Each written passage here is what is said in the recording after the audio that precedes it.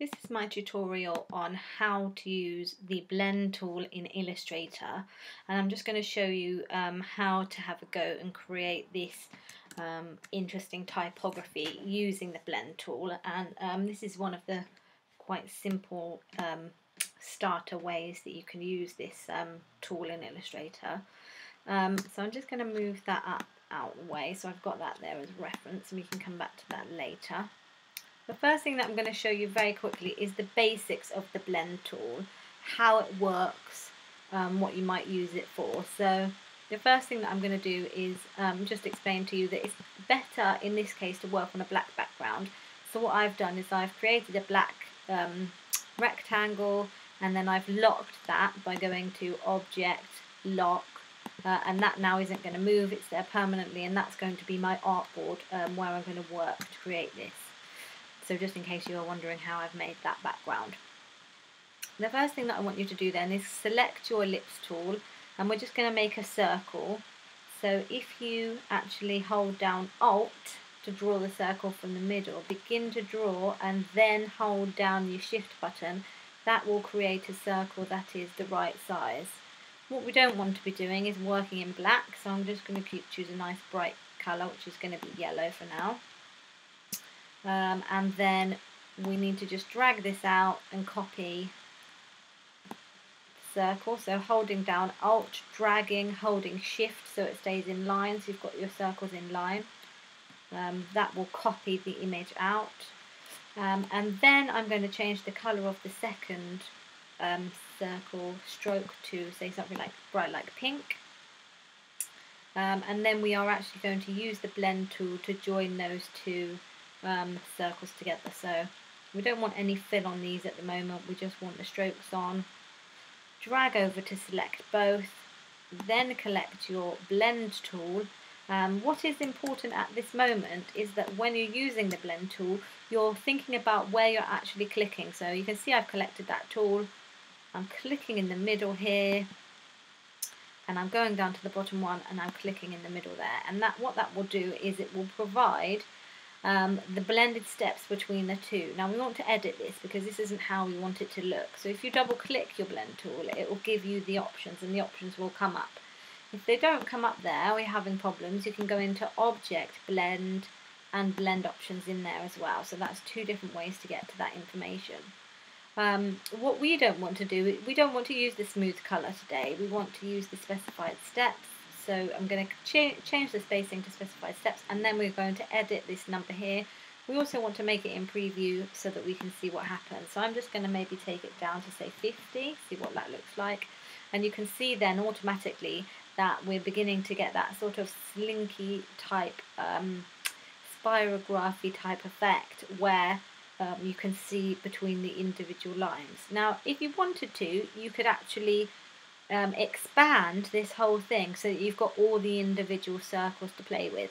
At this stage, we're not going to bother doing that because that um, basically is going to make it a little bit difficult because you then got all these individual circles and that might be too difficult for you to deal with. You can also work with the different orientations, but at this stage that isn't going to make any difference. So just click on OK, and there you have um, a very simple blended line. Now, if we if you wanted to try doing the same thing again, and I'm just gonna, you don't need to copy this. I just want to show you what I'm gonna do to just see, just an example to show how um, you can use this differently. We're gonna just release that and try again. I'm gonna get rid of that line in the middle. Um, and just to show you that if I put chose the different points on the circle, it, it would give a different effect. So for instance, if I um, clicked on the outer point of the circle on that side and the outer point of the circle this side, the blend would become like this um, rather than like that. And obviously that can then give you a whole load of different options uh, and things that you can do to play around with um, the different shapes. So just take some time to have a little play around maybe try some different shapes and things. Obviously, things like stars work well, or um, polygons and things like that can work really well. So have a little go maybe after you've done this um, tutorial, playing around with different shapes as well, because you can get some really interesting effects. Um, so what I'm going to do is I'm just going to get rid of that one because I, I've made a one already here and I just want to really quickly show you how I made that example. So this one we've used a very simple two um, colour interchange and this one here we've obviously got one, two, three, four, five different colours. So I'm just going to expand that to show you how I made that so that you can make that ready for using for your text. Um, you don't need to obviously do this stage yet. I'm just going to release this and then show you what I've done. And in fact, what I'm going to do is um, just select those and make the font, the stroke one point so you can see a bit clearer. Um, if ever you wanted to go back into your um, work and see what's going on underneath. So for instance, I don't need this line, but I can't select it any other way. It wasn't selecting when I tried to select it without going into preview mode. This is actually preview mode. The way that you get into preview mode from, from the shortcut is if you press Command and Y, it will turn uh, the image into preview or you can see up in view and then you can go into overprint preview and pixel preview in there. Um, so I'm just going to delete that one. Uh, and then what you need to do is select all of your circles. So hopefully you've had a go making your circles and dragging them out. At this stage it doesn't really matter how far the distance is. Um, it's just a case of adding in the colour. So you want, if you want to copy mine, you want to um, choose exactly the same colours. So the bright pink, the purple, the blue, the limey green, and then the yellow. So if you make your circles those colours, select them all, click to your blend tool and then we are going to do a link between each one, stopping on each point before we move forward. So click on your top one, move to your next one, move to your next one, move to your next one, and go to the final one. And you can see it's not obviously set up as we want. We don't want this to be smooth colour, but again, this is a, a really good thing that you can use for blending and things like that with shapes in Illustrator if you wanted to have a go doing that. Click on specified steps. Make sure you're on preview. Let's try 50 again. Yeah, 50 looks good. So we're going to give it 50 specified steps and click OK. Um, the important thing about this is that we've got that then to use in a minute. So I'm going to just move this off the artboard, move that along, and we're going to start with our letter W. So the first thing that you need to do is select your pen tool, and then you're simply going to just write very carefully, carefully as you can, trying to be as accurate as you can. And if you wanted to, you can put guides on to help you put your smart guides on. Um, trying to make sure that that is accurate. Mine's not particularly accurate actually. So there we go. That's all a bit wonky. So you might want to just collect your white arrow and spend a bit of time trying to just make that as accurate as possible. Moving in the points, etc. There we go, I'm just going to go with that for now. Once you've done that, you need to collect your shape and then collect the um, blend tool line that you just made and then you're going to replace the spine. Now what that means is instead of having your circles on this line you want the circles to be on this line. So you, it's quite a uh, nifty little um, technique. So we go into Object, Blend, and then Replace Spine. And that will automatically jump across for you onto your lettering. You see how simple that and quick that is to do. Um, and now you have your letter W all made, ready to go. So that's the first one that we've done, and that's obviously a bit simple and not too difficult to do, so I'm glad that's uh, been quite easy. The O is going to be a little bit more tricky. Um, what I'm going to do is I'm just going to bring this down here, go into preview mode and just show you really quickly what's going on. So you can see we've got lots and lots and lots of circles all overlapped in there. And it's the same technique basically as the one above. I'm just going to actually release this one that I've copied out um, and that way it makes it easier for me. Um, what I want really is that centre spine. Oh yeah, let's drag that out a minute and give that a colour so I can see how big it is. And I'm just going to get rid of that. You don't need to obviously do any of this because um, you're not at the stage yet. So the next thing that you need to do is you need to create uh, your larger concentric circles ready for uh, replacing onto this which is going to be your spine. So if I drag this one out, um, undo the blend, you can see how big my circles are. So my circles, if I open up the transform palette a minute, you can see how big they are. They are 46 by 46, so you could make them 55 centimeters or 50 millimeters is a good size for that circle. And again, you need to do the same thing. They need to be one point. Doesn't really matter how big the distance is when you're drawing them out. Um, just make sure that you've got them all in a line. And then you can see I've actually chosen a different order, a colour order on this one. Uh, and the reason I did that was because when I made the circle shape, I didn't like the way it looked using this um, colour spectrum. So I changed it. So I did the green, followed by the orange, followed by the pink, followed by the blue, and then another blue in there. Um, but I'll show you how to change that in a minute. So again, you need to select those, click on your blend tool, and then click on each point as you go along. Oops. Click on the final point. No, it's not letting me do that. Probably we don't need that last one anyway. Okay, so click on that, double click on your blend, options, make sure it's on specified steps. You shouldn't have to keep doing this on yours. I'm not sure why it keeps defaulting to that smooth colour one. Um, that's just a quirk, I don't know what's happening. So yours should already be set to this. Set it onto something like 50, maybe 30 might be a bit better for this one. Click OK. So then we've got that created. We then need to make our little circle here. 26 by 26 we'll say is a good size. So if you want to create your circle shape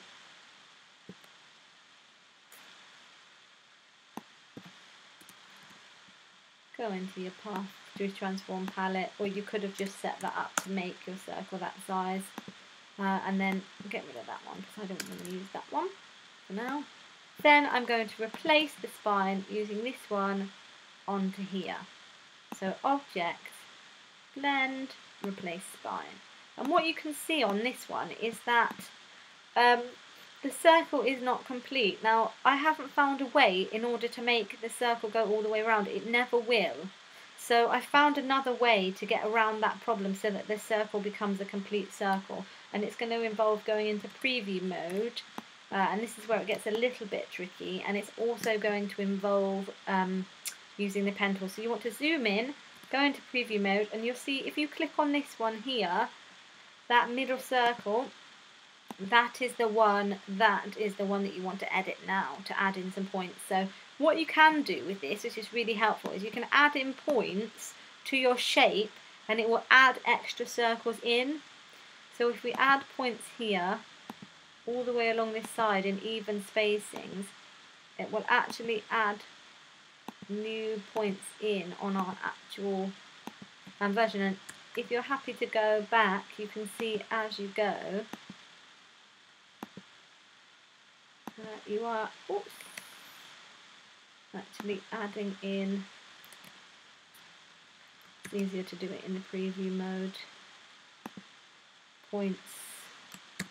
And then when you come out, you can see that actually you have got a circle, a whole circle shape. Now, what I didn't like about this circle when I made it originally was um, this kind of odd shape here. I wanted it to be a, kind of different colour. I, I, preferred these colours. So I did have to edit the um, colours a bit on each of the individual larger circles. First of all, I'm just going to edit the blending steps because there's too many there, obviously. Let's try 20. Yeah, maybe 18. That looks a bit better. And then just double check that your um, stroke is on one point. Um, and then what you can do, in fact I might even take that down just a little bit more, maybe to 15. Okay. Then what you can do is you can actually go back in with your white arrow and if you've got your um, smart guides on you can actually see um, where the edges are of the actual paths and you can click on them and try changing the colours. So I'm going to click on that pink one and possibly change it to let's try blue or oh no green. I'm going to try and find this one on this side and change it blue and then maybe try that one and change it pink. So you can edit this until you've got to the point where you're happy with your colours. Um, I do think that it's nice to get in a bit of um, yellow in there. Again, if you're if you're struggling between finding the different um, circles, you can go back into the preview and click. So just have a bit of a play around trying out some different colours. You see what happens if you put too much of the different colour in there then you get a weird effect where, let me just show you that again. You get this weird effect where it doesn't quite look like it's a finished circle. You get some kind of odd distorted perspective effect. So I'm going to go with something a bit like that because I think that way it looks more like a sort of generalised circle. And what I'm going to do, I might even take it down a notch. You see, even I have to come come back in and edit things as we go. There we go. Okay, so I think I'm happy with that.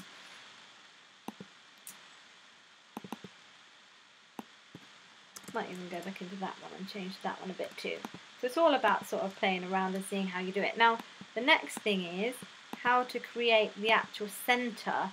So if you see uh, on this one here, if I drag that over, I have got this interesting centre point going on, which sort of gives it a kind of more finished bit of a pow look. So what I've actually done here is another trick using the um, circle blend tool and I'll drag those in so you can see um, and I've basically just created another series of separate circles that I've added in to the into the middle so again you want to select your circle tool uh, it's best probably if to make your circle, you work within the actual area that you're doing it, so over your O. So if you want to lock that, either by holding down Apple 2 or going to Object Lock. That will hold that in place and then you can work as you want from there. So select your um, ellipse tool by clicking on L or getting it from the toolbox. Hold down Alt again, drag from the centre, mine wasn't quite in the centre but that doesn't matter, and then hold down Shift to get a lovely circle. I've made mine yellow because I think that works quite well. What I'm going to do is copy, which is Command C and Command F to paste on top. I'm then going to scale it by clicking on S and return to bring up the scale box. And then I'm going to scale it by maybe 75. Let's just look on preview. Maybe a little bit less, maybe try 60. Yeah, good. So we want to make that this the same kind of size as that. Click on OK and then select both of those um, oops, you want to make sure that your inner circle is blue if you're following the same colours as me, or you can try something else. Select the outside circle, and then we want to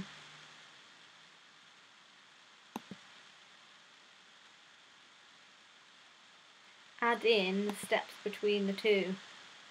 So if we click on the middle one and then click on the outside, that will then let us um, create the blend between the two. Again, I don't know why mine isn't going specifically to the specified steps, but that's fine. We can just edit that now. And then you don't want too many circles here because you want to get this interesting sort of effect. So I've done 15. You could try something less, like 10, 10 steps. You didn't want it too dark, but I think maybe 15 looks quite good because it gives you that nice pop of colour. So click on OK and that's done. We're now going to repeat the same process, or you are, I'm not going to show you it again because it's um, what I've just created, only with a smaller circle here, this size, going to fit that into the middle. Delete that, And then all that you need to do after that is just literally to copy across your W so that you've got two versions of your W. I might actually just centre that up, it's not in the centre. And then there you go, you have your wow text created using techniques from the blend tool. Um, don't forget that you can actually go back in and edit the colours if you wanted to change the colour from this side so that it was um, opposites. Um, don't forget that you can come back to this and if you wanted to add some more steps in to make it a bit darker you can. I think I might do. And there you have your finished result, which I think is actually quite quirky and quite a lot of fun to make. Hope you've enjoyed it, and if you have, then you might share the link to my tutorial with other people. Thank you very much.